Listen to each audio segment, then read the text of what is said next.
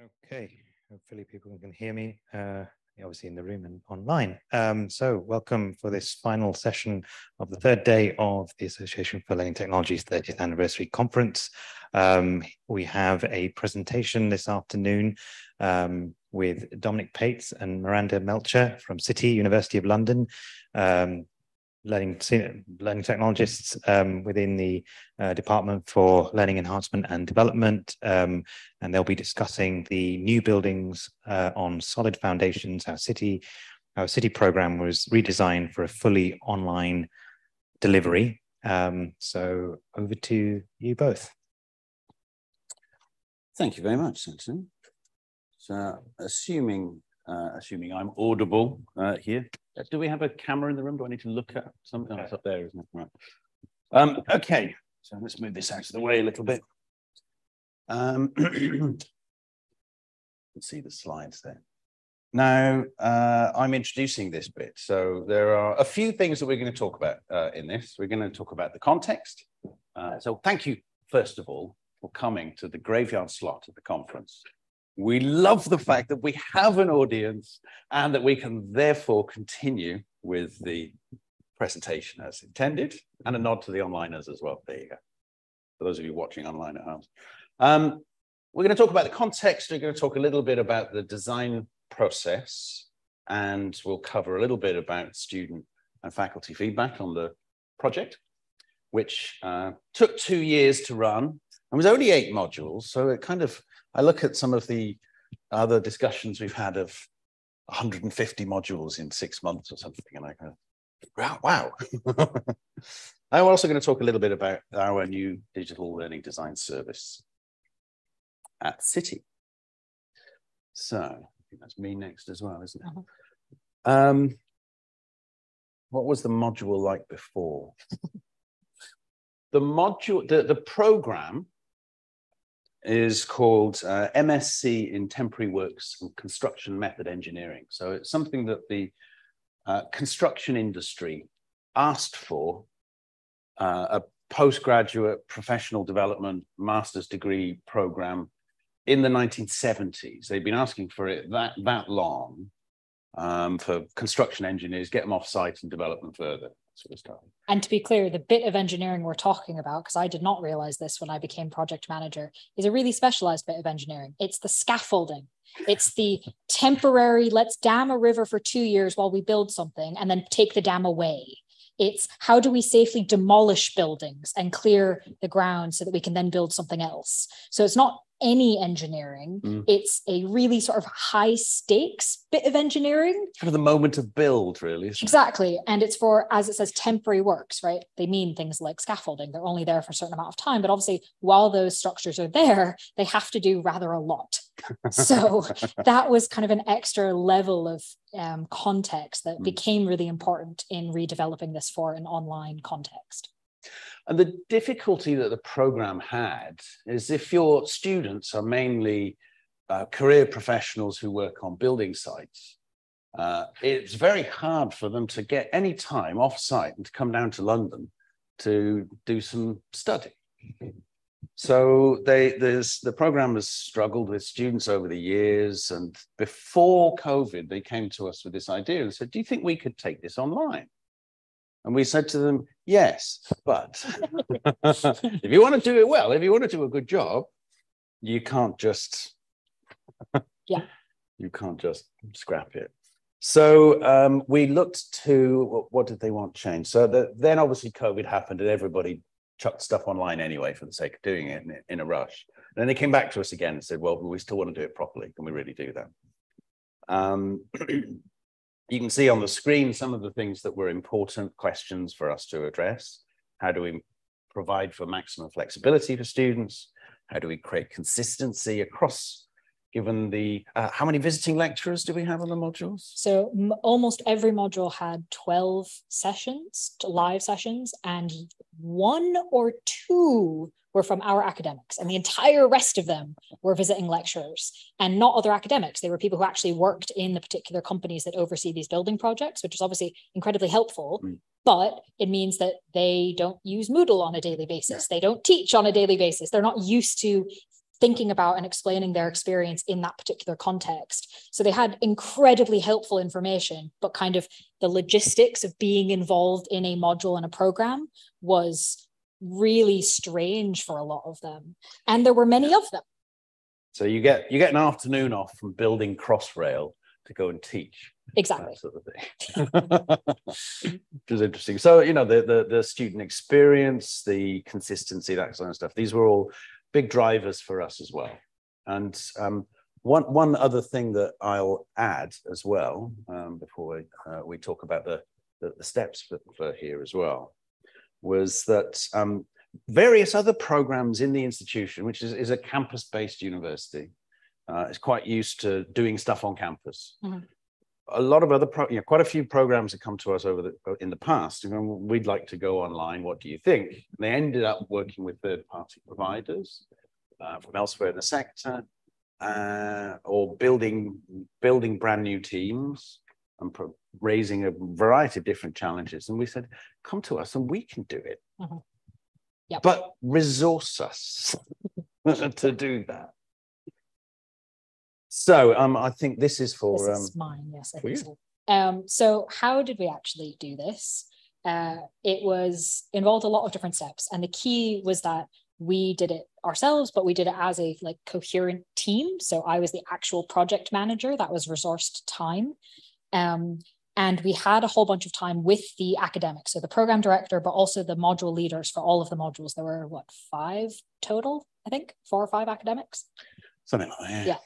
Um, and we got like a whole bunch of time with all of them together, which is miraculous, um, given that these are all also active engineers. And we started off with um, storyboarding workshops. So this is using the ABC method um, and really getting right back to basics. So it wasn't, and this was again their request. It wasn't can we just take what we do and what's the fastest way to get it online? It was like, actually, hang on, let's think about what we're doing and why, which absolutely to their credit. Um, and they had never really done sort of something like a storyboarding workshop. And so we walked them through really from the beginning. Um, you know, what is this? How do we think about these things? How do we think about alignment? Um, and we've got some fabulous feedback. We've got a video to show you later on where the academics kind of talk about their experience of it. Um, but they really found it incredibly helpful. And actually, were in some ways almost more eager than we expected. We were kind of like, well, here's how much you need to poke at what you've done before. And they're like, great, can we do that and more, please? Um, we really want to kind of think about this.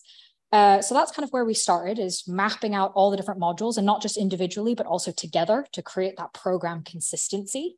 Um, they were really invested, for example, in making sure that assessments were staggered so they didn't all end up at the same time, which obviously we really appreciate and isn't always something that academics initially are on board with, but they really were.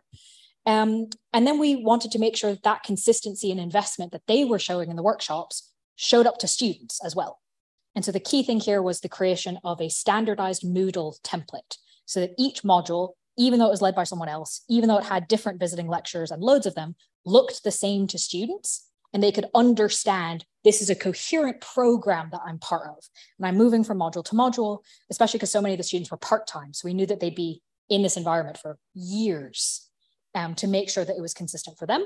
So we created a standardized Moodle template. We're going to show you a picture in a moment because it's actually really nice looking. One element of this was that because there were so many VLs, um, we knew that kind of, yeah, okay, we could put the name of the person and like what company they're from. Obviously, we should tell students that but they're only going to meet this person maybe once. So anything we can do to kind of help students understand who this person is before that live session would be beneficial.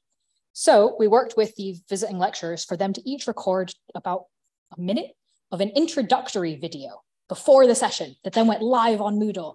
And we even made it so that the entire, all of the introductory videos for the whole module were live at the beginning of the module.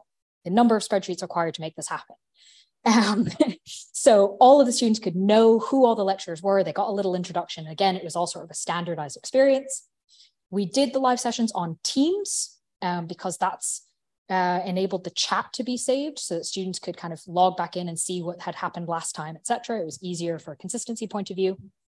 But we also linked it up with Echo so that it was all, um, the recordings were automatically put onto Moodle. So if a student, for example, had to miss a session because they were on an oil rig in Aberdeen, um, they could catch up for the next session. Uh, and all of this was done because we had project management from LEAD. So again, the spreadsheets, the emails, the weekly meetings, all of that to get all these pieces together. So in a storyboarding workshop, um, we looked at a range of activity types. Again, this is something that they hadn't necessarily thought very much about before, but were really invested in exploring what the different opportunities were. Um, they very much got the idea of alignment and were like, oh, yeah, that would really help with this consistent program experience. Um, and built in support, especially for the blended and hybrid part of this. So this was, there were a lot of discussions about kind of how to use teams effectively, um, what to put up on Moodle for students to engage with in advance of sessions, how to make sure that Moodle was not just kind of a requisite thing, but actually part of the overall student engagement. Um, these were all things that were very much discussed and engaged with during the storyboarding workshop from the beginning. So these were um, what we ended up using.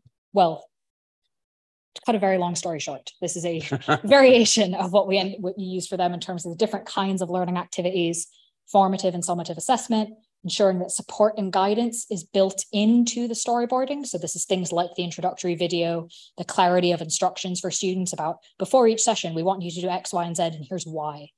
Um, so these were the sorts of things that we were all discussing in the workshops. Um, and so we would have workshops or storyboards that would look like this. This um, began as a traditional ABC you can yeah. download from the website and it looks like this and we evolved it into looking like this. Yeah.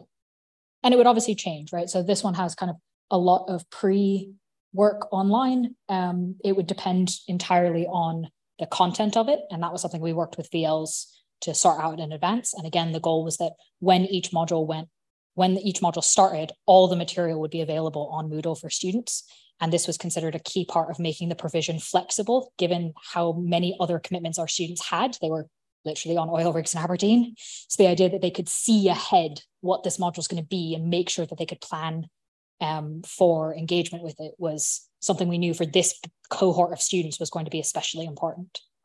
And again, I think the um, the the versions that we see here are the sort of final polished products. These went through quite a few iterations. There's a lot more complexity. We tried to condense down into something more digestible. Yeah. So here's another example. Um, so you can see the pink stuff. So the module welcome, the overview, the overview of the assessment. So we made a lovely infographic that was right up at the top of the Moodle page that explained how assessment was going to work. Um, this was pretty good for reducing questions from students, yeah. which the academics really, really valued. And um, they didn't get kind of the questions I think a lot of us are used to of like, wait, how much is the assessment worth again? All that sort of stuff, because it was a very clear infographic that was right at the top of the Moodle page. And it was the same place and the same style for every single module that they did. Expectations were set. Yes, and clearly communicated. So this is what um, one, this is what the module overview, so the first bit of Moodle would look like for one of the modules. So the module leaders each recorded a welcome video with an overview of the module. Obviously, these were fully captioned transcripts, etc. So there were multiple ways of engaging. Um, preparation. So this is a good example. So e each week there was a clear list of steps of what you need to do each week. Um, there was a teaching schedule infographic uh, any of the data things were there. And so pretty much this is a decent example of sort of what each week looked like. And the whole point was to just make it as clear and consistent to students as possible. And that was also why we used then the template across the different modules. What did the students think? Hmm. Well, luckily we had a, a consistently high attendance in live sessions. Uh, and this was something that this, the program had always struggled with because they were on those oil rigs, so they couldn't get the time off, or um, they couldn't get to London usually, and you know those kinds of, you know, suddenly there was a, a scaffold collapse on site somewhere, so it couldn't quite get get to campus. So um, there was also we did a there's a reluctance to ask students in a lot of institutions. We find, you know, survey season comes around. Don't don't busy them because we need to ask these metric based ones. Um, but we did, with the permission of the academics, ask students quite a lot. How's how is it? How's it going? Well, and specific things like how are you finding the Moodle layout? Yeah. How are you finding the infographic? Like we actually asked them a- about a lot of these specific things we had put in, um, because that's not covered in the standard module end of module stuff, and we wanted to know. And uh, although we don't have any data to present here, uh, we can report that there was high satisfaction uh, amongst the students, uh, which was gratifying to see. And, and we can also see it in the other data, right? The few number of questions that academics got, the kinds of questions you normally expect, there just weren't very many of them, right? We could see that in the fact that students were of their own initiative logging into the team site the day before a live session and writing a message saying, really sorry, I can't make it. I've watched the intro video and I'm curious to hear about this. I will be watching the recording afterwards. You know, getting students to do that. and we didn't ask them to, like they're doing it of their own volition. So, in addition to the surveys kind of directly reported information, there's other indicators as well.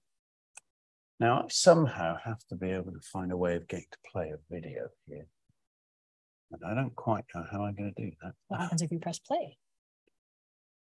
No. I go to the next slide. Yeah, that's a that's an image. Mm. Can we copy paste that into the thing? Unfortunately, not. What if we go out of the That and then copy paste the yeah, How many text does it take to play a video? too many.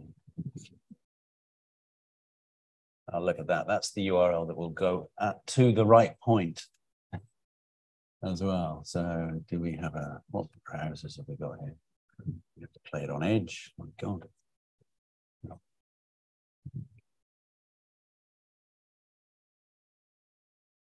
So let's bring this up a little. I hope we have audio here. How did you work with LEAD?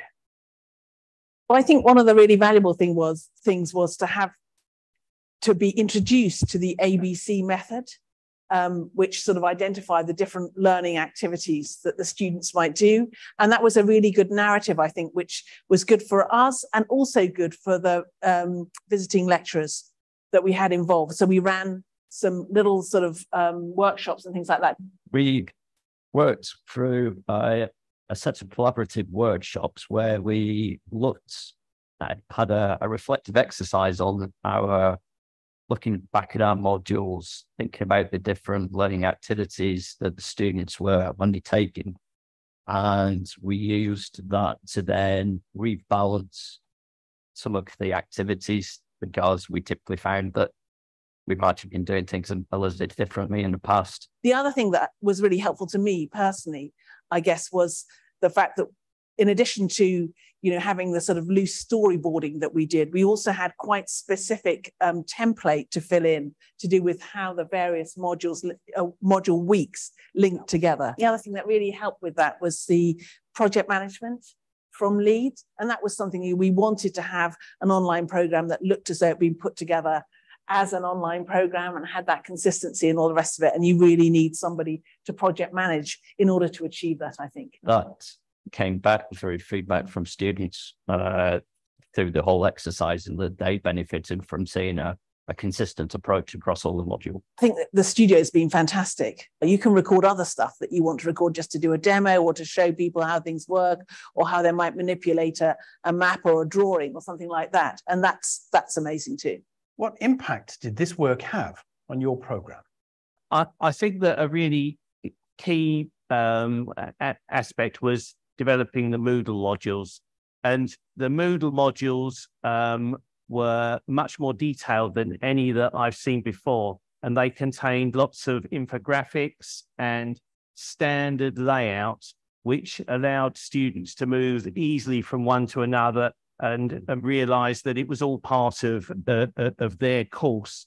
And we got a lot of feedback from the students saying how easy it was to to find what they needed and and uh, and um, and to be kept well informed. I would say that it's also had a huge amount of impact on my professional practice within within producing, you know, resources for students and things like that. You sort of think again about what you're doing. Creating opportunities for students in but in other teaching has, has really benefited to me as well because you see how different types of learning, different types of activities can be either taken online or done better in a face-to-face type environment. We've had LEAD making sure that the slides that they're producing, you, you know, are easily accessible um, and and people can, you know, watch them and and and the, the information's clear and all the rest of it. And and and that's not something we would have done otherwise. They pre-recorded uh, the, those little introductions for what you're going to be hearing in my lecture next week, and the students really like that. I also think we've we've done things that we never thought possible, like your field trip with um, Daniel coming to, to record things so that they could get, be broadcast to people who weren't there. What advice would you give to colleagues looking to collaborate with LEAD? I think that what you've really got to do is you've got to buy into it, uh, and you've got to allow them to uh, to guide you, uh, because uh, however experienced you think you are, they've got an awful lot more to add to to what you are able to do yourself. Uh, and uh, we we absolutely put ourselves in their hands, and and I can't believe uh, you know how far we moved in such a short space of time. LEAD are the professionals in in this area. Very rewarding experience for for us. Everybody across the sector is working very hard to make things work. And if you wait until you have enough time for yourself to think that you're going to do something, you you you will never do it. I got the sense that the people we were working with from LEAD wanted it to be a collaborative, non judgmental, supportive process. There was always um, uh, encouragement uh, uh, and also suggestions for how we might improve things. And, you know, the, you would have to dig very deep to be able to come up with some of the ideas that that we were presented with. Without that management, it would not have happened, and it and it certainly wouldn't have happened to uh, the extent that it did. You know, we have a course that we are incredibly proud of now, and the, the delivery is uh, is very very smooth. LEAD's new digital learning design service offers consultations, storyboard workshops, and project management for the design of learning resources, activities, and educational multimedia. There we go, I get the idea. They like us. Thank you. It's important to hear from the academics there, I think. So obviously we did a lot of work with that particular program, um, but in a lot of ways it was a pilot as well for seeing if we could do this for more than just one program, to see if we could do these kinds of learning design things in-house. Um, and as you hopefully saw from the video, it was pretty successful. So, based off of that and some work done in other parts of the university, and um, we have now launched LEAD's digital learning design service. Um, and now we're going to tell you a little bit about it. So we've got a definition uh, uh, of that, and it took us a lot to get to uh, this particular one, and even the name itself, Digital Learning Design Service. It's amazing how much you wrangle uh, a few words in a sentence to get to something that everybody can agree with. But, uh, we are describing this as a collaborative, flexible process for the design, development, and delivery of effective blended, hybrid, and online learning programs and modules. So it might be a single sentence, but there's an awful lot in that if you unpack it uh, a bit. So we, we kind of frame it to our uh, staff in some ways based on uh, a, a, few questions that might uh, might occur to them. How can I improve student engagement on my program? How can I design activities that will give them some real life practice, might apply their knowledge? How can I make the, the module more inclusive? Um, how can I add blended learning components or hybrid teaching to the program? So this uh, learning design service uh, is available kind of for a bunch of different programs at different stages, I suppose. So, for example, if a program is new and is like, hang on, we've got our approval for our program, we've got a program spec. How do we translate that? That's something we can help with. Um, similarly, a program's gone through periodic review and wants to make changes. Um, switches modes of delivery. So that's what we've just seen with MSc Temporary Works from fully on, fully in person to fully online. Um, and school initiatives and kind of continuous improvement. So the first example, um, BSc cybersecurity was a module that already existed, was generally run online, uh, but in response to student feedback, the module leader came to us and said, you know, I'm getting some mixed feedback from my students. There's some bits of it that they like, there's some bits of it that just really consistently aren't working. And I know my topic really well, but I don't really know how to best respond to this. And so, with that lecture, we did a series of workshops um, and kind of assistance in developing things, and then sort of checked in with him as it went. And he did further little tweaks um, and went, okay, that's actually really helpful. It wasn't about changing the whole curriculum for the module, but still a lot of improvements could be made within that. So this sort of is the range that we can work with. So generally, the process is um, pretty straightforward. Uh, so digital our digital education team within LEAD is generally split into uh, covering. There's two teams, and together we cover the whole university. So Dom is my boss, and is in charge of uh, business school, law school, and science and technology. And then Peter is Dom's counterpart and looks after all the other bits of the school, the university. And I don't remember all their names off the top of my head because that's not my team. Um, but the idea is that if you are a program leader or a module leader, you go to either Dom or Peter, who you already know anyway, and you say, hey, I would like to work on this. I want to improve student engagement. I want to um, improve constructive alignment. I want to add something in, etc. Um, we then sit down and have a consultation with our learning design experts. And one of the key things about the service is that it is dependent on what you need from us. So that consultation is not us saying, here is the one template that we will present to you, and you must do it this way. Even who's in the meeting depends on what they come to us with. So whether that's people like Jane from the academic team, whether that's more ed techs, people focus on accessibility. The whole point is to make this flexible and collaborative.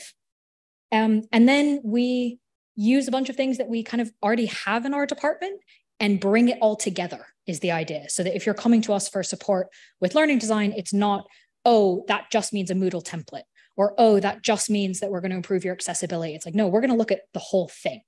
And we've got experts who can bring in all of those different pieces and put them together. Um, and so if people work with us for learning design, it improves the entire program and the entire module, even sometimes in ways that aren't expected from that initial meeting. So again, going back to the idea of being flexible and collaborative.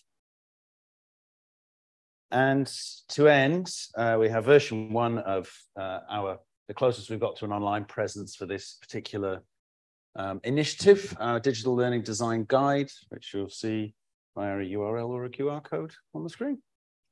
Thank you. Here he is. Thank you. Happy to take any questions if there are any, or comments, observations. Yeah. Lovely. Thank you. Question. Yeah. How did you get the existing lecturers allocated lecturers on board? Then onboarding Mhm. those lecturers? Yes. And what format of that? Mm, you, Yes. can, you can respond to that one. Uh, so some of them were involved early on, including in the storyboarding workshops. Um, so if they were people that kind of we knew very early on were going to be involved, then we were able to do that. Obviously, given the number of visiting lecturers involved, uh, we didn't know all of them at that far in advance. Uh, so essentially, what happened is whenever we were developing the next module in the program, uh, the project manager would work with the module leader to kind of figure out who are the visiting lecturers and sort of what order they're going to go in. And that was going back again to the storyboarding workshops. Um, the lecturers then were the ones that usually would reach out and recruit the VLs because they that was the industry contact. They usually already knew each other. Um, but then that's when the project manager would come in and be like, hi, this is a really interesting program that you've now joined. Welcome.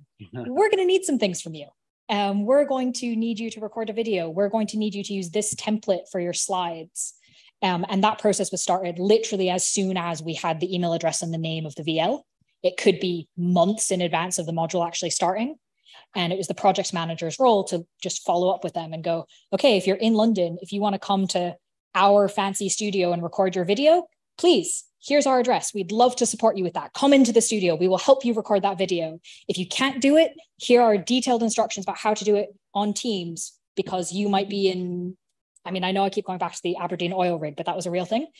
um, you know, detailed instructions on that. Okay, we need your slides. Here's the template. Here's why we have a template. Um, can you please send it to us? And they'd send it to us, and we go, great. turns out your slides don't follow our template. Great, we're going to sit here and do a whole bunch of work to make to fix that and make it all actually accessible, and then send it back to you to make sure that it's all good, etc. And so that was a big component of what the pro, um, project manager would do, is that continual communication. So honestly, a lot of the times you're in you know weekly contact with VLs for months, and they haven't actually taught on the program yet.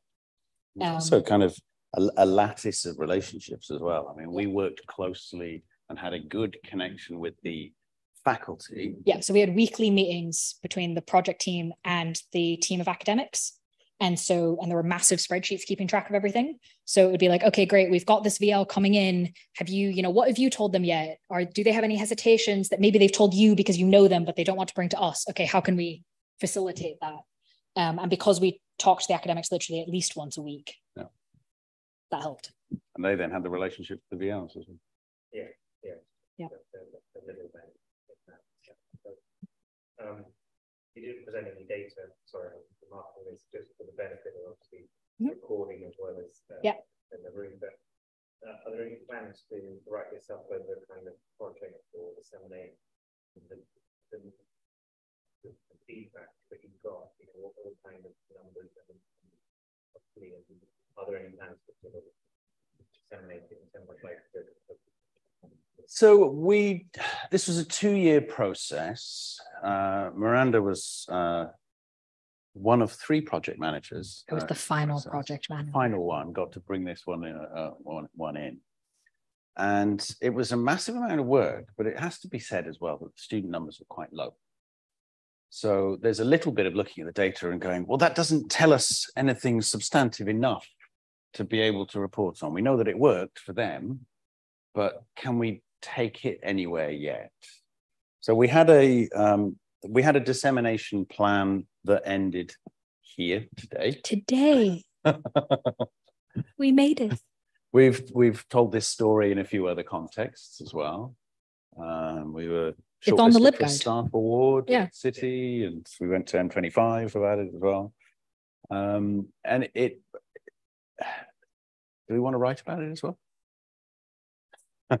we might do. Might do. Be a shame not to, really. I, do- I do think, I mean, it is on the LibGuide. We've presented other places. One of the reasons we wanted to present it here was, again, it's recorded and things like that. Um, because I think part of what we want to do is make sure that it's out there at least somewhat, you know, Yeah. even if it's not perfect. Um, Yeah. and we don't have every bit of information maybe we'd want, it's more than nothing.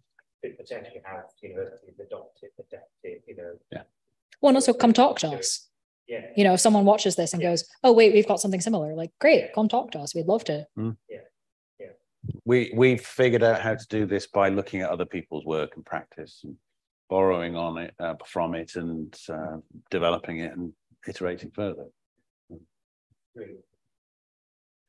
As, a- as a, a, a learning designer, not a project manager, I find absolutely amazing to see the process just summarized like that. Brilliant. Thank you. Thank you. Thank you. Well, we are a bunch of things. Um, so that's probably helped. Um, Yeah. Indeed. Thomas is the learning designer, I suppose, officially. Yeah, exactly. But uh, But I was an academic and then I'm an ed tech and now I'm a project manager. So uh, awesome. I'm delighted that you chose to come along to the session. That was uh, really good. Just to get out of the slides. one- I don't know. think it's just that areas of support, that's just such a lovely summary to show people what I can do. for them. Feel free to move in closer if you want. If you want. Lovely, thank you. Very welcome. Shall we draw proceedings to a close?